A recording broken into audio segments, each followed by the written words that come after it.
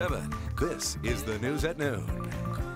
And welcome to the news at noon. I'm Doug Petcash. Breaking news today out of the Boise State football program.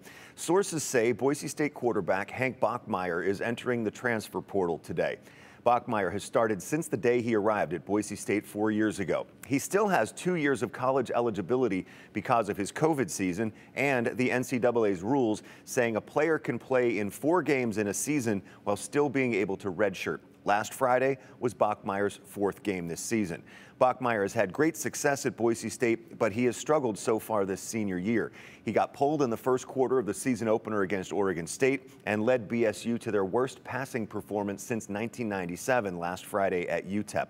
Bachmeier already graduated from Boise State, allowing him to enter the transfer portal immediately.